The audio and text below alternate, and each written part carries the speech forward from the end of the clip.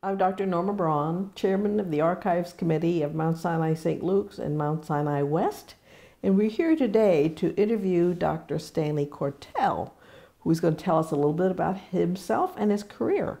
So we're going to start at the beginning with where you were born and where you were trained and where you were raised Okay. and how you became a doctor. Hmm.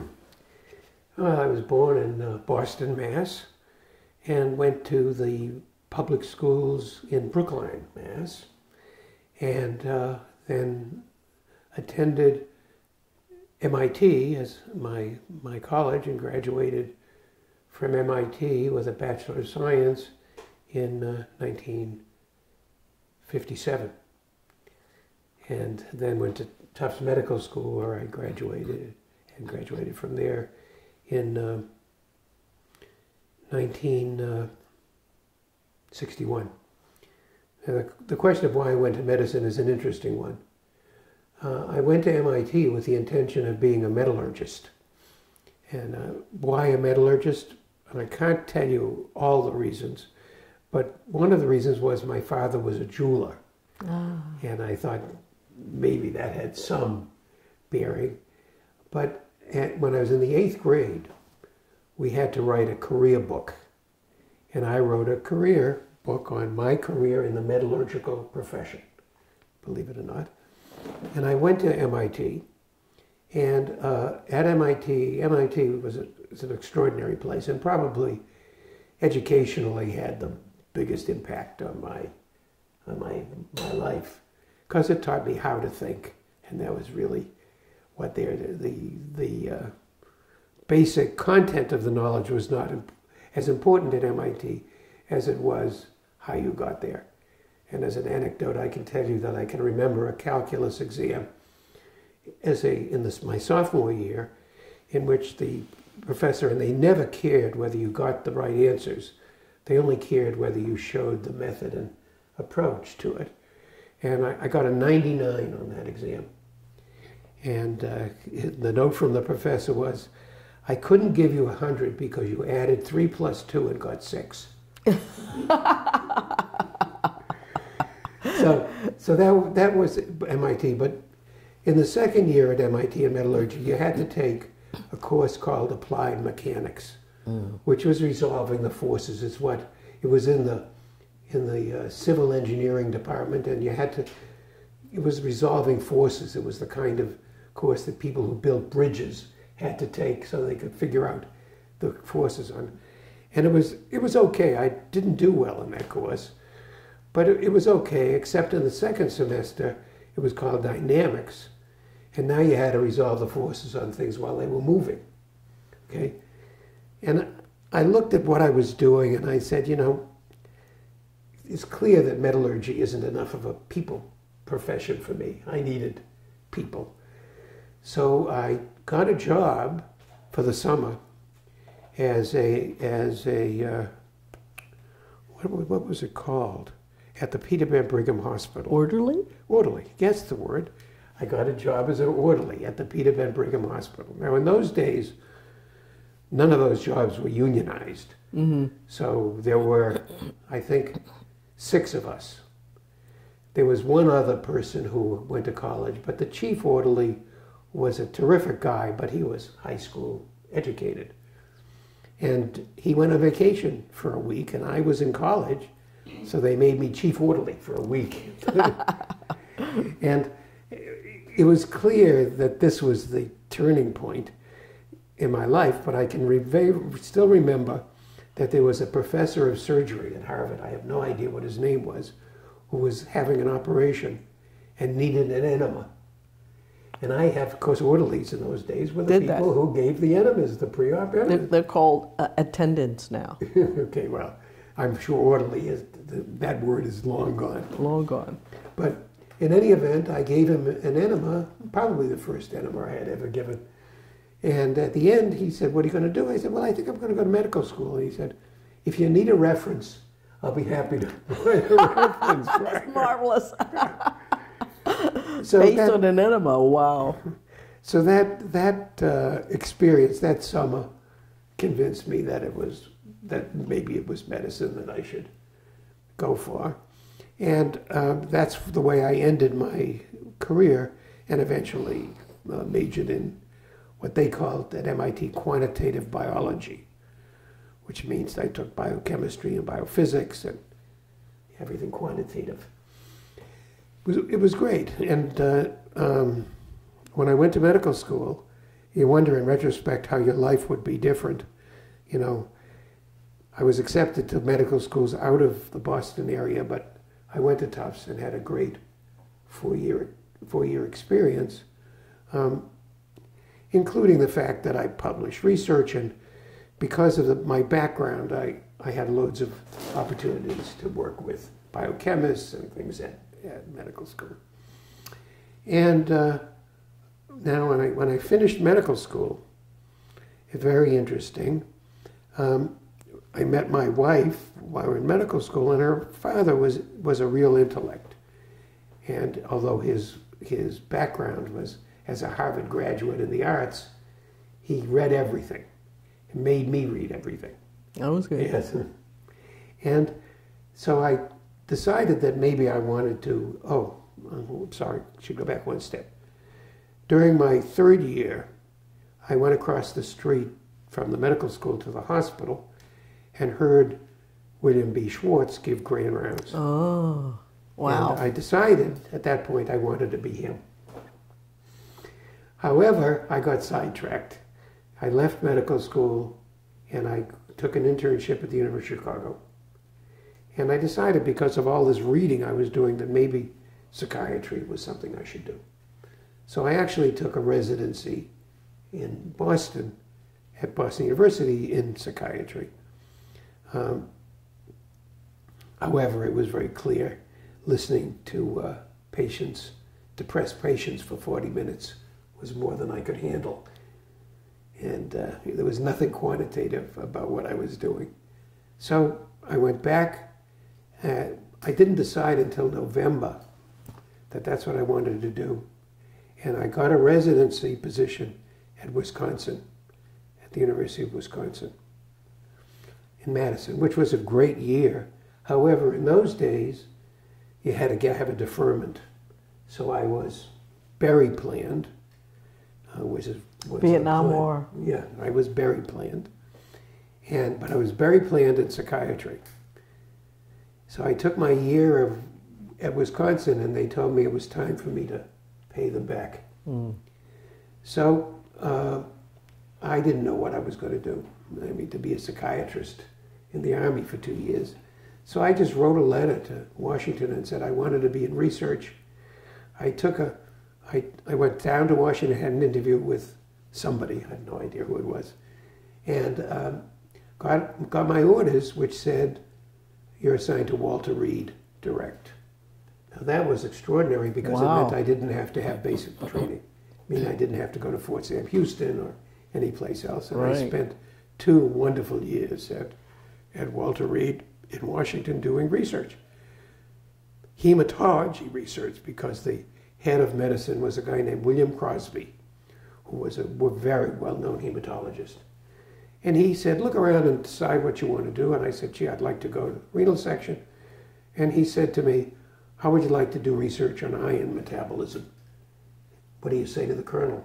You say, yes, sir. yes, sir. You say, yes, sir. And so I spent two years basically doing hematology research. But it, it didn't really make any difference. I had more publications in that two years than probably any, any other two-year period in my life. Um, and it was a, a very wonderful experience. And, and I uh, uh, arranged to finish my uh, residency, because I only had one year, remember, to finish my residency at uh, New England Medical Center. And uh, Bill Schwartz had by then accepted me for fellowship. Um, now it's interesting, one wonders about life.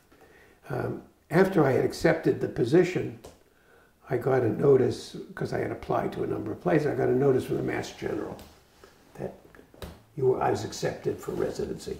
Uh-huh. And I went and said to Bill Schwartz, should I take it? What should I do? And he said, the honorable thing is not to take it because you've accepted the position, but I'll love you whether you take it or not. Oh, that was kind. I didn't take it in the long run. I went, it wouldn't have made a difference in my life. And so I spent these like one more year as resident and then I a fellowship. Now fellowship is generally two years. At the end of the um, first year, Bill Schwartz said to me, "I can't teach you anymore. Uh, why don't you become an attending?" So I only had one year of one year of fellowship and then became an attending at uh, at New England Medical Center. And uh, you know, I was a, uh, a training grant recipient, and uh, by the time I left, I had an R1 from the National Institute of Health, and then I was approached uh, by, but I always had trouble with the New Medical Center because it was a very middle class hospital, Mm. and I never knew whether I was really needed if I left, whether the patients would miss me, if you, Mhm. if you will. And I had gone to a dinner. My Bill Schwartz had been elevated to chief of medicine, and there was a dinner, and I sat next to a former trainee of his who was chief at Pittsburgh, and he turned to me and he said, "Stan, would anybody miss you if you died?" Oh dear. He wasn't talking about my family. Right. Right. And that kind of stimulated me as to maybe I should look and see whether I was doing what I needed to do. I actually, during the Nixon administration, went down to Washington and they tried to recruit me for the what was then the Department of Health to be and and I as a result of that I did do some part-time work for the FDA for years. I I reviewed hypertensive and renal drugs on a part-time basis for the for the FDA for more than 10 years. But I didn't move. I would fly down in the morning and fly back on the last flight and give them two days in one day of, Mm. Of FDA counseling. Um, then I got a call. I guess when when when um, the division of nephrology at St. Luke's was headed by somebody named David David, whom I never met. Mm. I never met. He had gone by the time. By the time I was recruited, but Ted Van Itallie appointed a search committee consisting of Alice Maniatis. Oh yes. Well, Alice I must, is back in Greece for Yeah. a hundred years. Who was a wonderful lady, and, and Connie Lattes.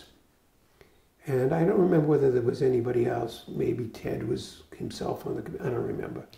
But they came and recruited me to come to, to St. Luke's.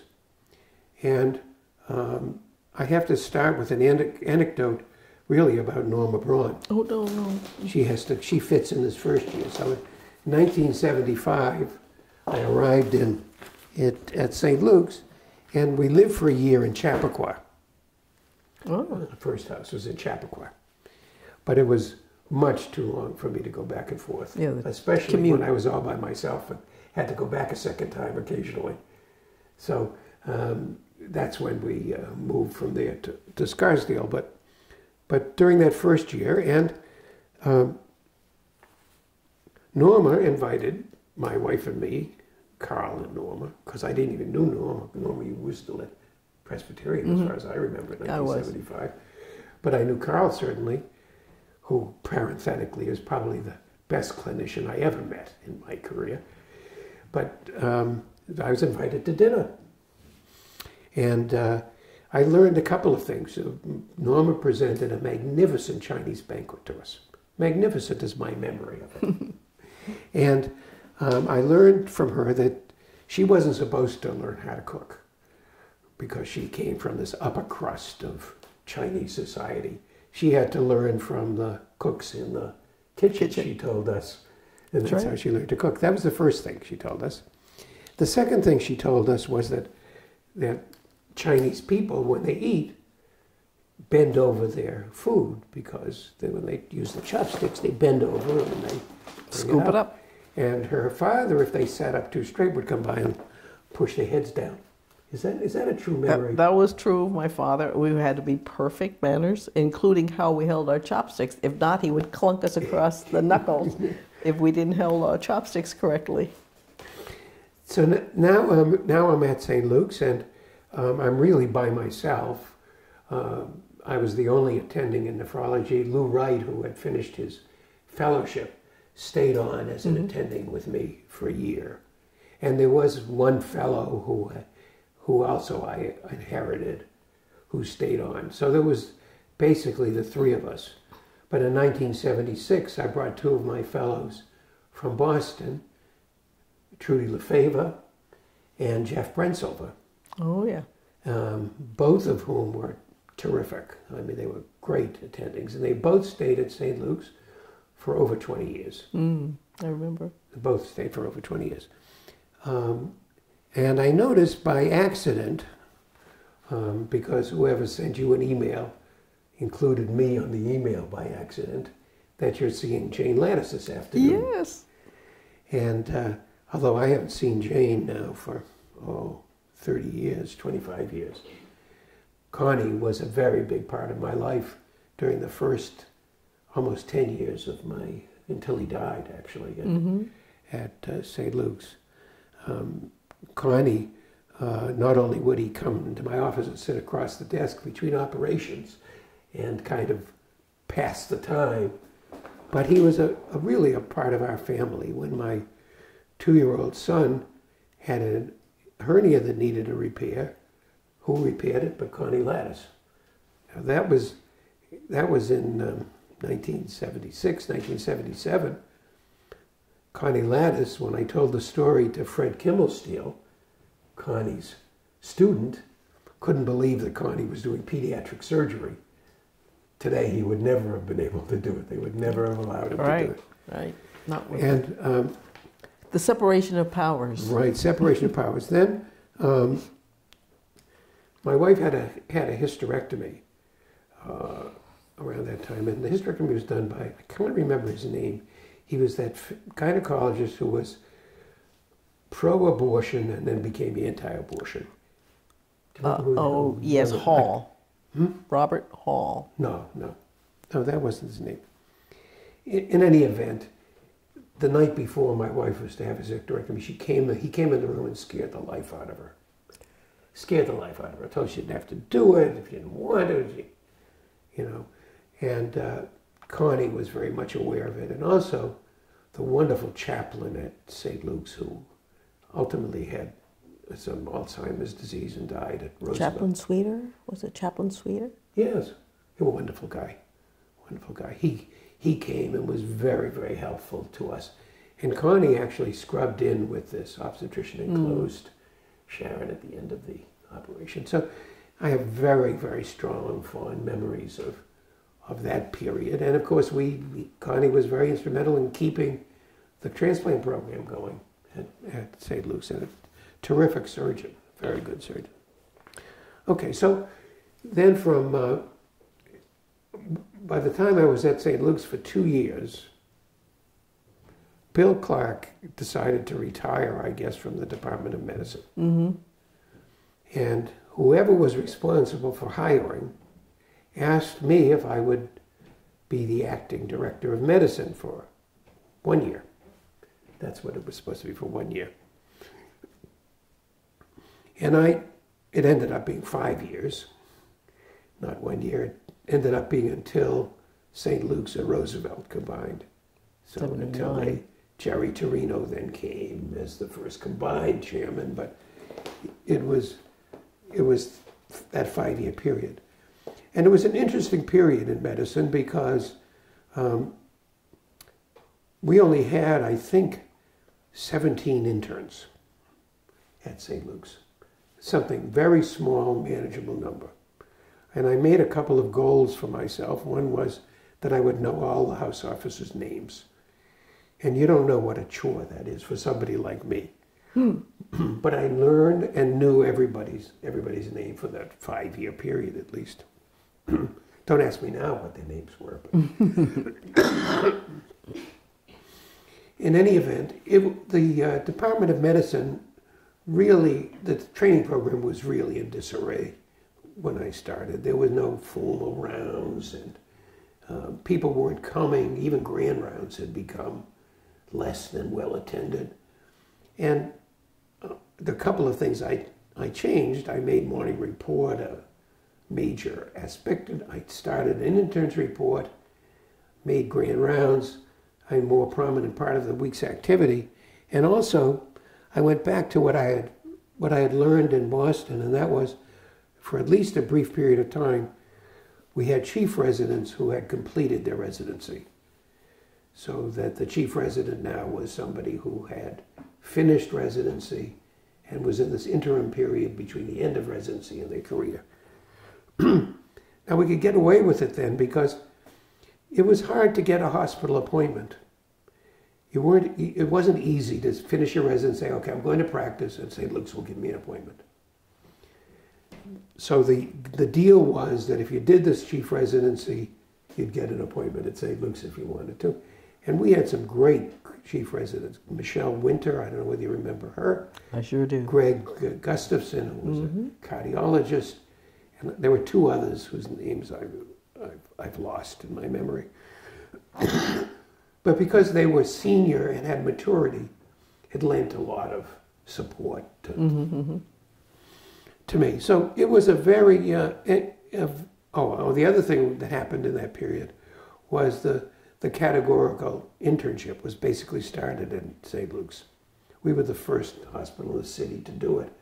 And we were, it worked out that it worked because I, I made an agreement with the Department of Psychiatry at Columbia that we would accept for categorical interns anybody they accepted into their residency program.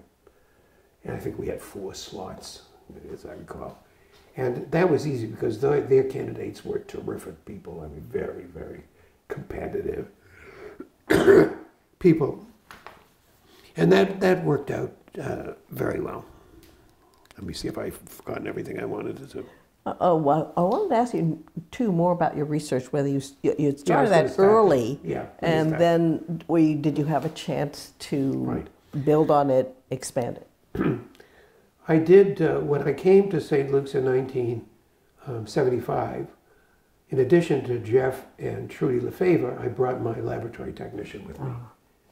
And we had two more years, a renewal of our R01, which, I, which was a micropuncture research, a very basic project, which I continued um, with, in collaboration with my long-term colleague, who became the chief of nephrology at Vermont, um, and finished that grant and published a number of papers through that. It was very clear, however, that I couldn't do basic research and run the department and meet my clinical responsibilities. So the research that I did from oh, 1980s through the was all collaborative. Some of it very basic. I did a lot of very collaborative research with um, the Department of, of Chemical Engineering at Columbia, mm. Ed Leonard.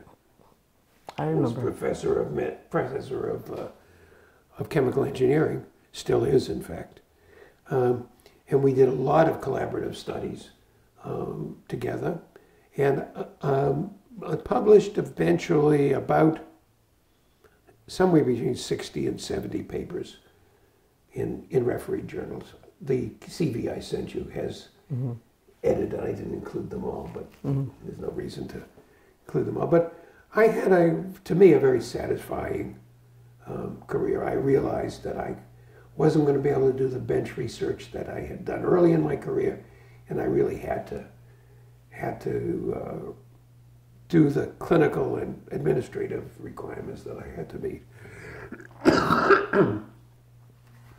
okay, so in the in the division, did you have another question about? the research? Well, just curious as to what the focus of the research was.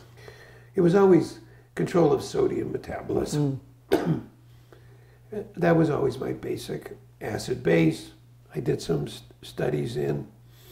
Um, it's interesting. There's a, a, an app called ResearchGate.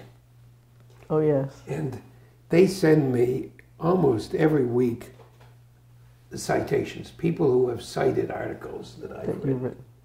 And it's amazing how we, they're citing articles that I published 30 years ago. Mm-hmm. And it's kind of nice. It, it's kind of a nice thing to. to well, it's, it's, a collegial extension of, right. of yourself. It's very nice. And it's still pertinent. Yeah, some of it is. Okay, so um, when I look at at uh, St. Luke's, I want to talk a little bit about the division in a minute. Yes. When I look at St. Luke's, I look at it in basically four segments of my career. The first segment was from 1975 until St. Luke's merged with Roosevelt. from the time I came to St. Luke's, the head of medicine at Roosevelt, his name is escapes me. Was it Nick Christy? Was what? Nick Christy? Yeah, Nick Christy. Yes. he asked me to cover nephrology at Roosevelt because it was, although it was Rid Ames, who has been there forever. Still there. He's still there, I know. but um, he asked me to do it, and I, and I did it. So during the years before the merger, I was basically doing the nephrology for Roosevelt as well as for St. Luke's. So when the so that's the first period until the merger, and St. Luke's during that period was was very different than uh, than it was even after the merger, after the continuum. It, it kept changing. It kept becoming less personal and more, I would say, corporate. If you, when I was farther and farther away from the from the centers of power, if you will. I didn't mention, I forgot to mention that when I came for my interview to be chief of nephrology at St. Luke's, I noticed on a bulletin board the St. Luke's motto, which also kind of got lost over the years. But at that point, the motto was people who care. I don't know whatever happened to that motto, but that was the motto when I arrived. And that was really when I really felt that that was the way the people at St. Luke's lived, that they really did care. They cared about one another, they cared about their patients. and that I think things changed over time, as I said, became more corporate.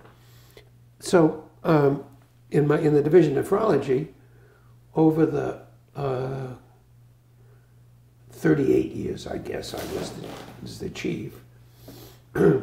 we, cha- we trained 50 fellows, all of whom who completed their residency passed their nephrology boards, hmm. 100%. Eight of them became attendings at St. Luke's. Eight of the. Was James 50. Jones one? Yes, of course. Yeah. James Jones is the happiest and saddest part of the, the latter part of my career. I had identified James when he was a house officer and knew that he was he would be a great fellow.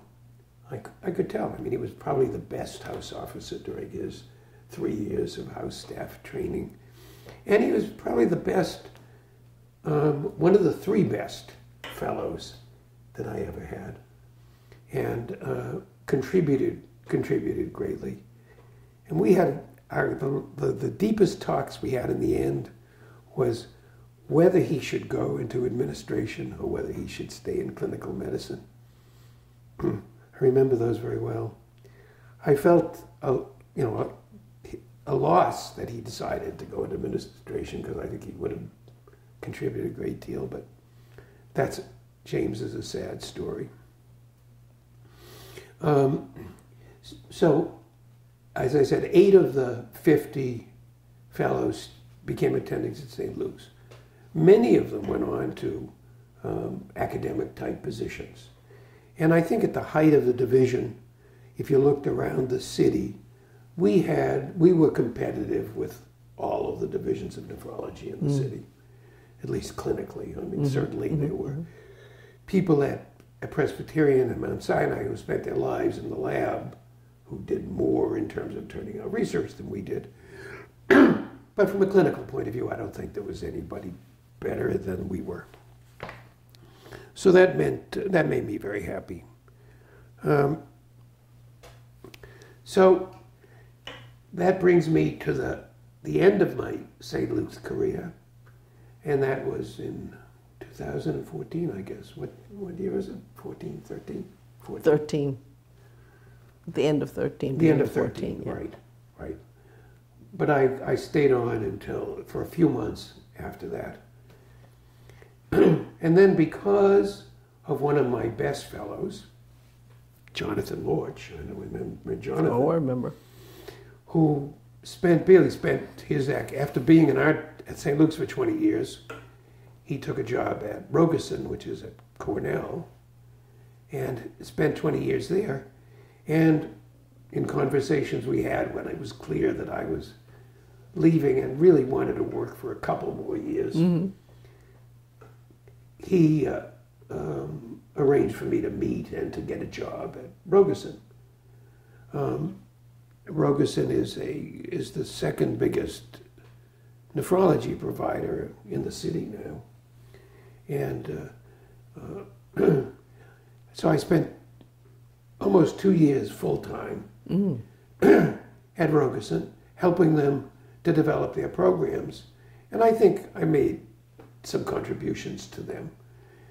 Um, and I still spend um, two days a week at a conference helping them to develop a chronic kidney disease clinic, which I do from here today at 12:30 is one of one of my two days. and that that's allowed me to one keep up with my uh, nephrology because in order to keep up with these young people who are who I'm dealing with, um, I have to know what they're referring to because they do spend one day a week actually going over individual cases, individual patients, and that's that's just wonderful for me because that pushes me to to keep up to, to date. How about your family life? How did your Okay, you integrate your family life with your career? Ah, good question. So, um, my first son was born in 1964 when I was a uh, resident in medicine at the University of Wisconsin.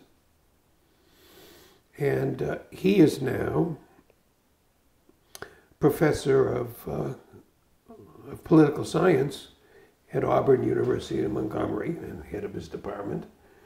and he has a he has the princess. That's our one granddaughter. Mm-hmm.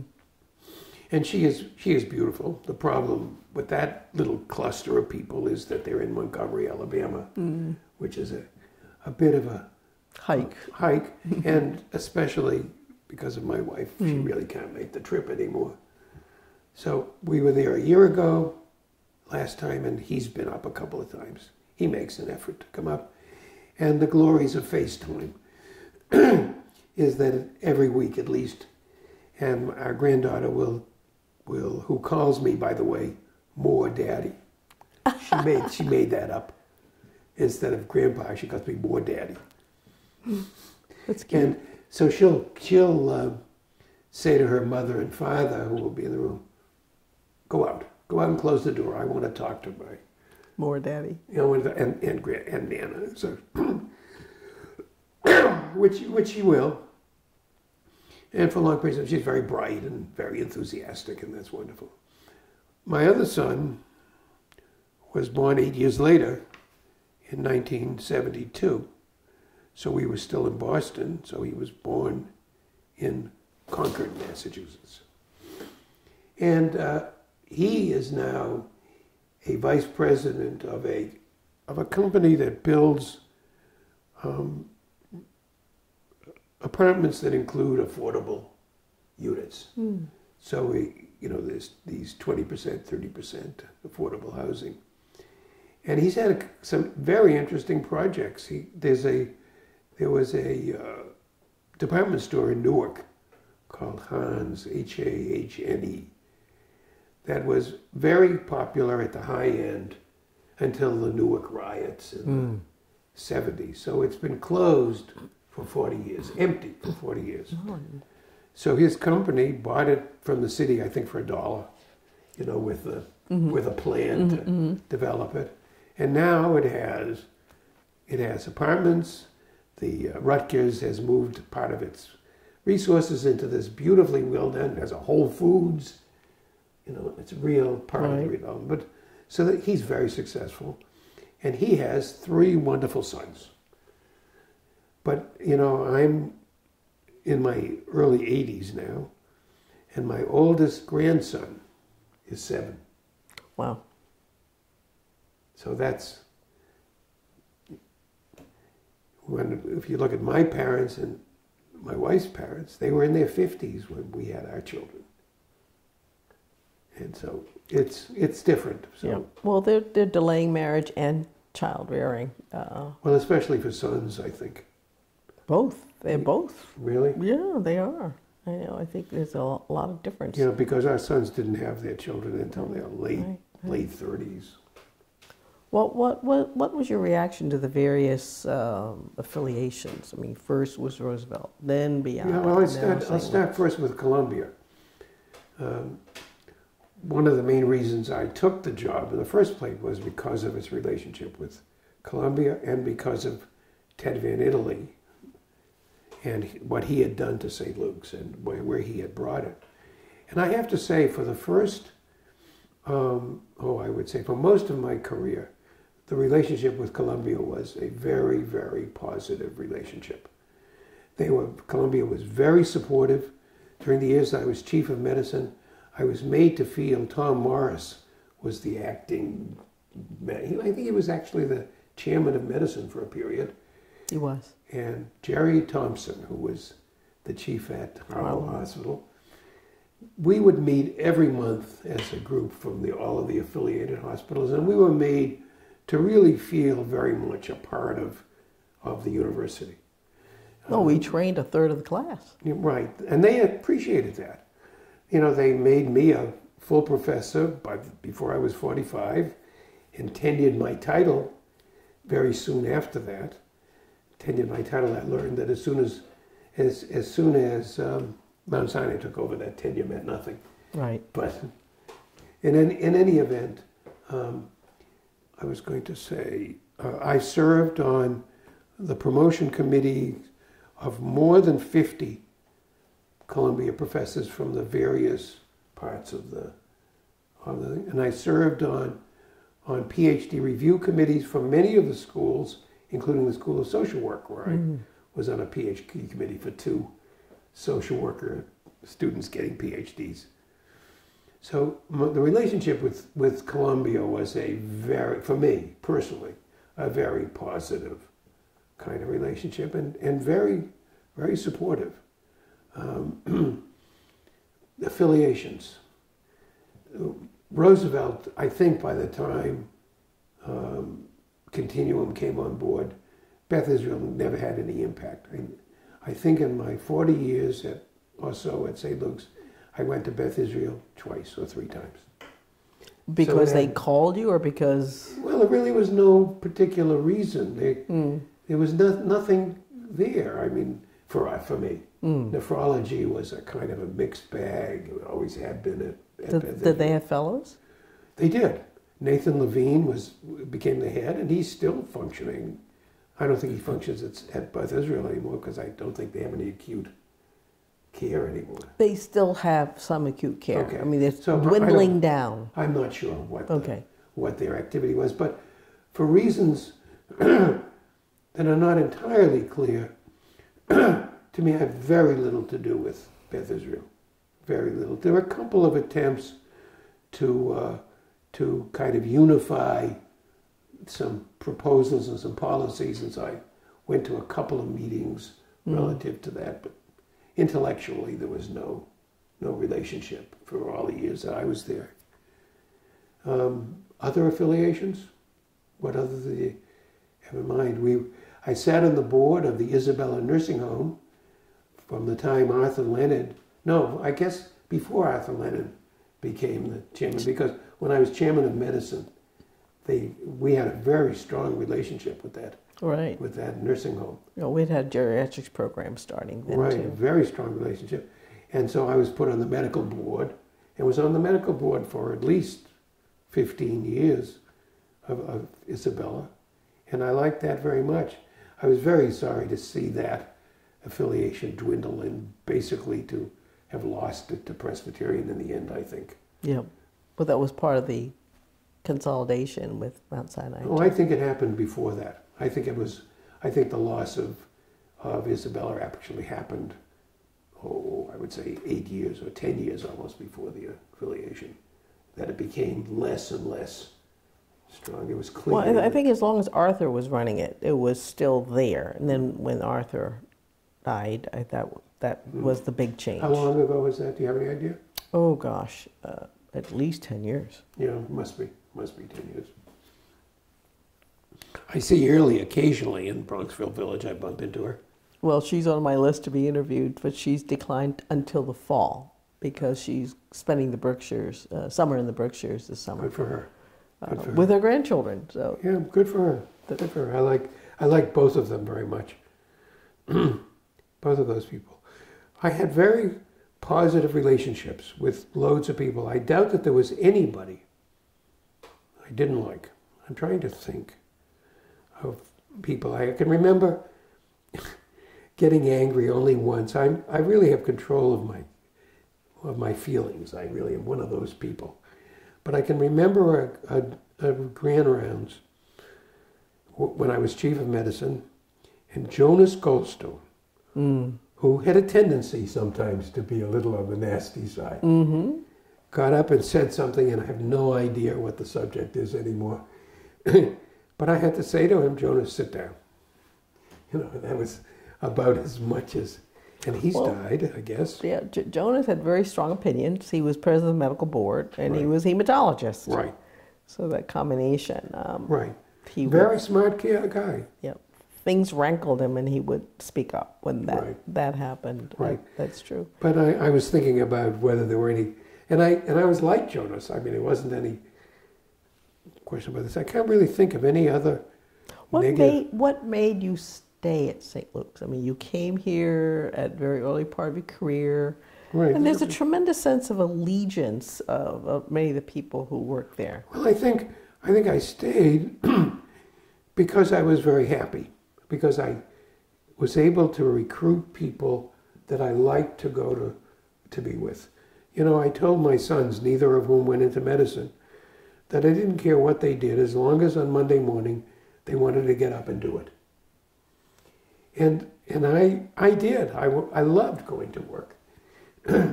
I was just talking to my secretary yesterday because I asked her to send me the list of fellows. I had no idea whether had any value. Oh yeah, I think so. We'll add that to our archives. add yep. Thank you. Thank you. Um, I- and I, I told her how much I missed her and how much I missed coming in every day. Um, you know, they sequestered her up in our 13 someplace now. You should see it. Oh, really? Pigeonholes. Is that what it is? She said that Jermaine shares a desk, but she says they don't even come up anymore. They throw their, their stuff at the hemodialysis unit and do their work. And so, but it, it was a very collegial. In the, in the early days, when we were on Minturn 2, we were all there because the dialysis unit was there, and we were all there, and the coffee pot was there, and the conference That's room was there. important. Yeah, and the conference room was there. in, the, in about 1977 or so, in 1978, we did a Connie did a kidney transplant on a Palestinian Christian, and uh, who was a very wealthy guy, and that resulted in a relationship with him and his family that lasted basically until he died of of uh, what is it shingullosis Shing, shingella Shigella. shigella that you get in your he had aortitis shigella aortitis with a perfectly functioning kidney which was very sad years later. But but that resulted in Connie and I going to Israel several times. He had the nurse the dialysis nurse in Israel as a visit. So that relationship was an interesting one and re- resulted in several years of of interrelationships. Um, that doesn't answer why I stayed at St. Luke's all those years, but It, it's in the interactions with people. right, and I think I really never had um, any any bad interactions. I think there was a suspicion from administration, and I can't even tell you exactly why. For the for the first until Michael Lesh became chairman, my relationship with the hospital was they paid me a salary, and I then billed for all my clinical work, divided it up among the division, and paid a certain percentage of that back to the hospital. And I don't even remember the percentage anymore.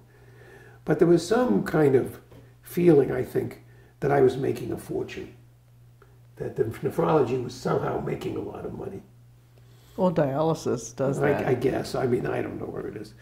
Uh, so when when Michael Lesh finally put together the faculty practice and it finally became viable, the first thing they saw was that we weren't making a fortune.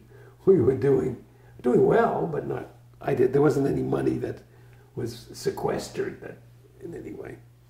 That was the only uh, the only the only feeling that I had. Um, and things changed. The other things that changed when Jeff Brensilver moved up to the Department of Medicine. That kind of kind of left. He left the department and had to be replaced. And Mike Greco. Now, when when did Mike Greco? Did Jeff and Mike Greco overlap? I don't even remember anymore. Yeah, they did. I'm For pretty little- sure that they did. Yeah. time. Because I think it was during Mike Greco's time that Jeff decided to leave. Mm. It must have been. Things changed in that in that period Inevitably. that period of time too. Well, Turino was brought down as a first Keating chair because we finally had the Keating professorship. Right. And uh, so that again gave it a, a actually a um, more intimate connection with Columbia. They were had one, but uh, because Jerry came Is that is downtown. that Keating professorship moved to Icahn? Uh, no, it's moved up to Columbia. It did. Yeah, That's where it was originally. Was it at the money in Columbia? It was at Columbia, right? And any money in Columbia's coffers goes nowhere else. I wouldn't. I don't blame them. Yeah, right, exactly. In fact, they've asked us to send them James Keating's portrait, which we've I've denied them because he was our chief of medicine and functioned to recruit Dr. Van Itallie. But in these days, you could take a picture of it, I guess, and they could reproduce it if they wanted to. Well, they, they, they have done that with uh, the grandson came and had his picture taken with Keating's portrait, Ah, and uh, so that he can share that if he so chooses. No, I, I mean, I remember Keating being talked about when I first came in 1975, but I, I never. no, he, he had died already. Yeah, I, I, but he, but he was always in people's conversation that I remember. Now, what, what would you consider your highlight of, of this period of time in your life? Mean, Highlights of St. Luke's. yeah, your career, Hmm. or your family, or Oh anything no, I, else. oh, well, I mean, my my family has been wonderful. I mean, the highlights of both my sons and my Mhm. grandchildren.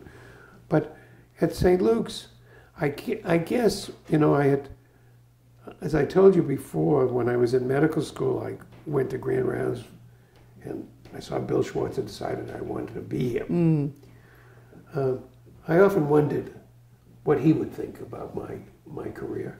He he died around uh, eight or nine years ago. Um, we always had a terrific relationship, but he was different from me. He was a real Renaissance kind of guy, one of the founders of the nephrology profession. Um, I think the highlight is is that I, for 38 years, I trained wonderful fellows, and they gave me a wonderful sense of satisfaction. And uh, I was intellectually stimulated every day. I mean, I would go in and learn something. People would teach me something every day of my life. And, uh, you know, at retirement, trying to find that milieu is the hardest thing to do. it is. Well, with all the student debts occurring now, did you ever have a financial problem going through school? Or, No, I never did. No, it, that's an interesting question, but I always worked, always got part of my tuition paid. Now, you know, we're old enough so that when I went to MIT, MIT was the highest tuition in the country, $900 a year. Oh wow! yeah, that's right. I don't know what that is in, in 2017 dollars, but It must be around sixty thousand. Yeah, no, it's, it's very expensive. So, but I always worked. I always took jobs that paid me or deferred my tuition or Within within the hospital setting or the medical institution? Yeah, I'm usually within the university, within the, yes. At MIT, I took a job with a professor that I adored, who I lived with as a, as a freshman in the dormitory, and I would, he was a metallurgist and he would, he would uh, do alloys. And I can still remember polishing these eh, surfaces so that he could look at it under his I think it was X-ray diffraction that he was using at that, at that time. Um, but I did I did all kinds of interesting things. In in uh, in college, I was the steward of the fraternity house, Oh, which meant I had to hire the chef and do the do the menus and so forth. One year, organizational skills. yes, but it gave me room and board in the in the fraternity. That helps. So one one year there was a snowstorm. Mm. and the chef couldn't make it in. And here there were 50 guys in the Waiting for their house, dinner. Waiting for their dinner. So I called my mother and I said, There are two turkeys, downstairs, two, two 40 pound turkeys downstairs. What do I do? She said, I, I think she said, three, 350 degrees, 20 minutes to the pound. Something of that order. So I I put them in the oven and I made some jello, which I had no had. The best job I ever had was when I was younger. I was a kitchen hand at an all girls camp Wow. In my junior year and senior year in high school. So that was a wonderful job. But so I learned a few things about how to deal with it. So I shoved the turkeys in the oven and I carved them just before they were served. And of course, the guys were delighted because the chef would have carved them at noon and served them the dry meat at At dinner dinner. time. but the only thing I didn't do, didn't do, I put my hand into the turkey after they were done. And of course, I hadn't taken the gizzards out. They were in a plastic bag in the, in the middle of the turkey. Yuck. So I, I remember that story. How did I get onto that? So I'm, I'm basically a very happy person. I think that's part of part of me. And uh, Oh, you out? What do you miss? I miss the everyday, and I, I had the opportunity when talking to Millie yesterday that I really miss coming in and seeing everybody, hearing everybody's news, and uh, uh, then going to rounds. I do miss ward attending in the old-fashioned times. One of the things that uh, that the Mount Sinai takeover did was to eliminate the specialty uh, wards. We had a renal service, an inpatient renal service. And that was a wonderful opportunity. It was a general medical ward with patients with kidney problems. Right. And it, it was terrific. And I, I fought very hard to keep it. And among the things that I wondered about whether, whether one of the things they decided to use to ask me to leave was that I had written a long list of questions to Barbara Murphy, asking her basically how I could help. This was before, just having a go. And among the things I put on the list was, was there any chance that we could continue with a Really. real- with a renal specialty unit. I don't think she liked the fact that I sent her this list of questions in the first place. Um, but I think I, I fought hard for trying to. Well, she's it. a nephrologist. and she, yeah, but she didn't care. She's long gone from nephrologist, and she was a transplant nephrologist, which is different. Yeah, well, she's looking at mechanisms of rejection. I mean, that that was her. That's her area of interest. Right, right. And she's a very bright person, very competent person, no question about it. And her teacher was one of my fellows, which I pointed out to her in Ireland. The uh, first paper that I published in the Journal of Clinical Investigation was with her teacher as one of the co-authors. She wasn't terribly impressed with the fact that I taught him. Well, I don't know. Maybe her experience wasn't as good as yours.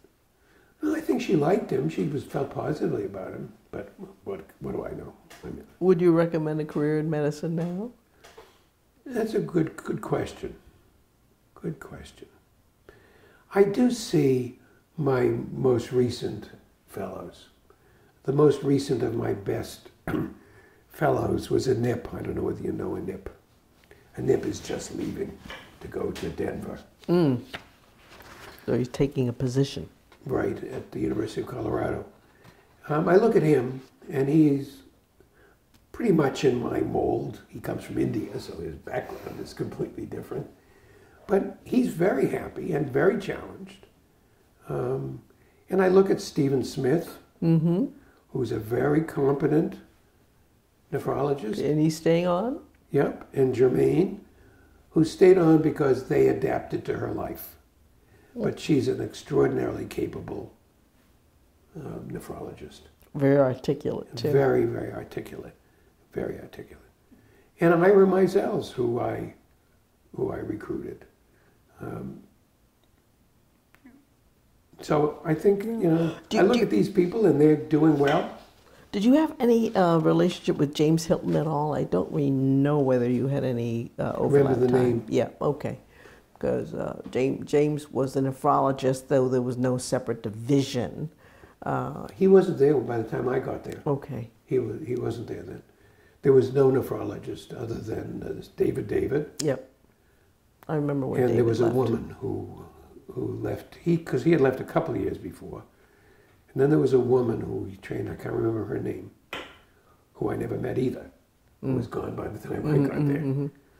But um, no, there was no, no nephrology at, uh, at St. Luke's. It was interesting. It was, that was one of the great challenges for me was to build a division because there wasn't any division. Right. That that was Van Itallie's goal was Yeah. to build divisions. And one of the reasons why uh, research in the lab didn't really end up functioning very well was the lab they gave us was on plant nine or wherever the top of plant was.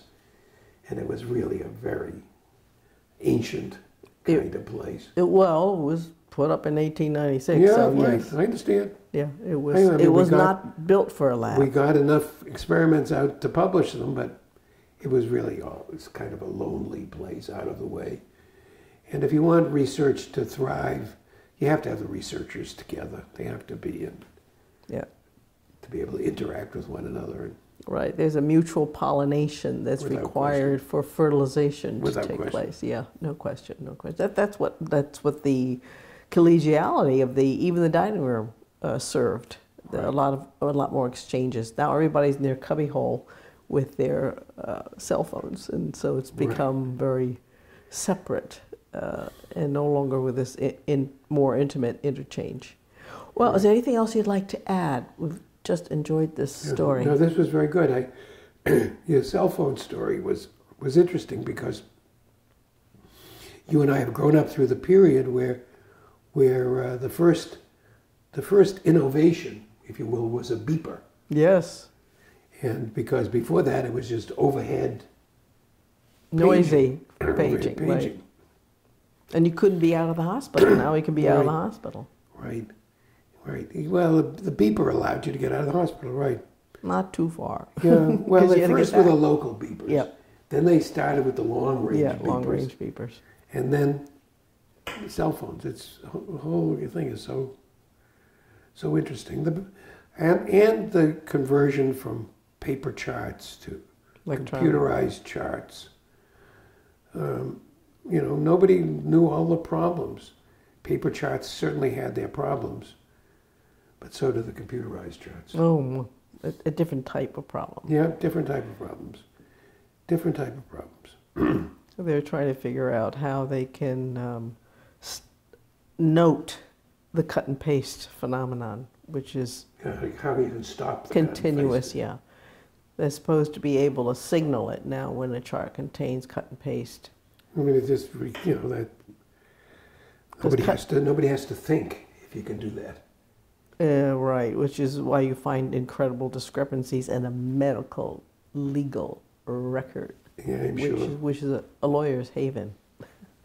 Yeah, I mean, you gotta, you know, at least when you had to write, you could write a short note, but you had to write something. You had to think about what you were writing down. You couldn't copy what you, you could say the same thing you said before, but you had to write it down. Right, right, right. Oh, wonderful. Just can't think of anything else to ask. Um, any other thoughts? that, You know, share. It's- If you're in a different part of your life and you stay active, that's the bottom line, I think, for most of us. Uh, Without question. I always tell the residents, you don't turn your brain off at four o'clock. Because now we've, oh, by the way, the hours are expanding. I know, I know. I remember I, we didn't talk about that, that we lived through the limitation of the hours and now they're expanding them again. I always felt that the, that that continuity, yeah, was, prob- was probably yeah. more important than limiting hours. Yeah. I mean, I think, you know, being tired is. I can remember a, an intern at uh, St. Luke's, a wonderful intern. I don't remember his name anymore. And I saw him in, uh, oh, it must have been in May or June. And he was so lagging and he was so slow. Then I saw him on July 2nd or 3rd, and he was so happy. Cause now, and I said to It's him, finished. now you're a resident. you have to pay the price of being an intern. Medicine has found no other way to teach young medical students how to be doctors, as far as I'm concerned. You can't learn the art from journals, texts, or no electronic records. You have to do it. You have to do it with people And you have to learn how to be called in the middle of the night and start thinking. and to start thinking. And I can remember when I one day when I was an intern and I didn't see my wife until the next day, and she said, "My God, how did you get a black and blue mark on your?" And I said, I re- remembered that at the University of Chicago, in those days, we slept. We when we were on call, we slept in a room, and there were two beds, and the telephone was up here, and the phone rang in the middle of the night. I went to get the telephone, and hit hit myself in the face with the with the telephone, and no recollection of it. Then I had to walk a mile of corridors because the University of Chicago was in those days was very Spread inefficient Yeah. they arranged to get to the patient. And uh, oh God, I can remember the patient too. The patient was dead when I got there. Here was this 75 pound dead patient Oh, being resuscitated by this 200 pound nurse. Oh, what a picture. And my goal, and of course, the why I remember it was I couldn't find the chart. Oh. The chart wasn't right there. The intern taking care of the patient had taken the chart back to his room with him. so I had no idea A big that no-no, patient yeah. was on the way to death or was it this an acute event? I had no idea. I'll never forget that. It turned out that it, the patient was dying, but But it's helpful to know. it helpful to know. Yeah, right, exactly. Because you feel so responsible. Absolutely, Yeah, and absolutely. then what could you have done? Yep, Yeah, that's what the CPC used to do. yep. At least the New England Journal still has it. Yes, thank, thankfully so. Oh, well, Dr. Cortell, thank you oh, so oh, it's much been a pleasure. for Thank you very sharing this Thank time with us. Stanley Cortell, MD, MPH, FACP, retired professor of medicine from Columbia and the Icahn School of Medicine.